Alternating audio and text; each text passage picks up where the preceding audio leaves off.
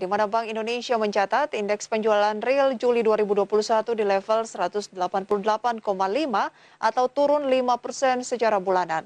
Sementara Asosiasi Pengusaha Retail Indonesia memproyeksi pertumbuhan sektor retail sebesar 3 persen di kuartal 3 ini.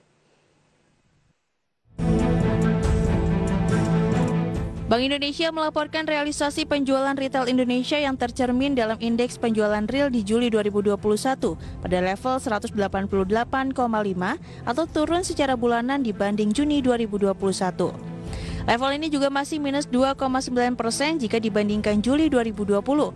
Namun jika dibandingkan Juni 2021, indeks penjualan real masih lebih baik dibandingkan Juni 2021 yang mencatatkan kontraksi 12,8 persen secara bulanan. Sebagai catatan, penurunan kontraksi terjadi dari kelompok makanan, minuman, dan tembakau, di mana responden survei menyatakan permintaan ketiga kelompok barang konsumsi tersebut diperkirakan masih cukup baik karena didukung berbagai strategi seperti penjualan online di tengah pembatasan mobilitas. Sebelumnya, Asosiasi Pengusaha Retail Indonesia atau APRindo memproyeksi sektor real hanya akan tumbuh sebesar 2,5 hingga 3 persen pada kuartal 3 2021, di mana proyeksi tersebut turun dari kuartal 2 yang mencapai 5,49 persen. Ketua Umum Aprindo Roy Nicholas Mandi mengatakan angka proyeksi tersebut tak lepas dari bisnis retail yang saat ini terdampak oleh PPKM.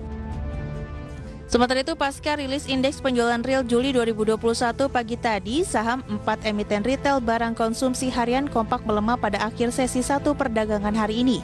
Keempat saham tersebut yakni Ramayana Lestari Santosa, Mitra Adir Kasa, Matahari Department Store, serta Hero Supermarket yang melemah antara 0,28 persen hingga 6,16 persen.